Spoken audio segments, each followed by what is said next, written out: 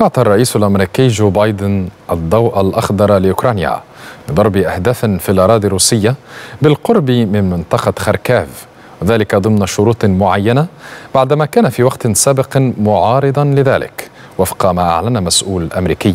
وقال المصدر إن بايدن كلف فريقه بالتأكد من قدرة أوكرانيا على استخدام أسلحة أمريكية لشن هجوم مضاد في منطقة خركاف وذلك للرد عندما تهاجمها القوات الروسية أو تستعد لمهاجمتها. كما أضاف أن الولايات المتحدة لا تزال تعارض تنفيذ ضربات أوكرانية في عمق الأراضي الروسية.